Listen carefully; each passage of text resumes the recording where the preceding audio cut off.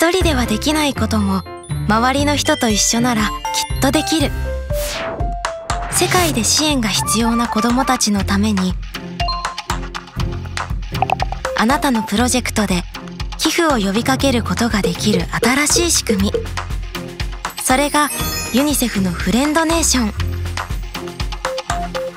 まずあなたが自分のプロジェクトを立ち上げ周りの人に賛同を呼びかけ寄付を募ります。そして集まった寄付はユニセフを通じて世界の子どもたちの支援につながります。立ち上げるプロジェクトはチャレンジやセレブレーションなどから選びます。まずはチャレンジ。マラソンをすることはチャレンジでしょう。また学校や会社の大勢の仲間とチャレンジすることができます。例えば清掃活動。ひょっとするとダイエットもチャレンジになるかもしれません。次にセレブレーションです。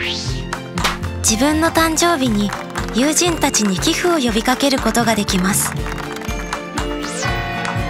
その他自分たちの結婚へのお祝いの気持ちや子供の出産もセレブレーションのいい機会となります。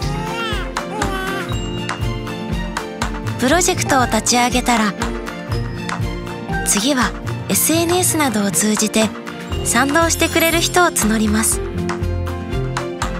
もちろん口頭で伝えてもいいですよ。さああとは自分のプロジェクトを実行するだけです。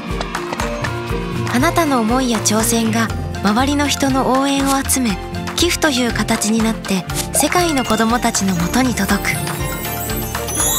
あなたの呼びかけが誰かの助けになる。